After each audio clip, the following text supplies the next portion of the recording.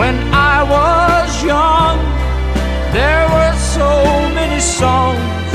that waited to be sung, so many wild pleasures that lay in store for me, and so much pain my dazzled eyes refused to see. I ran so fast the time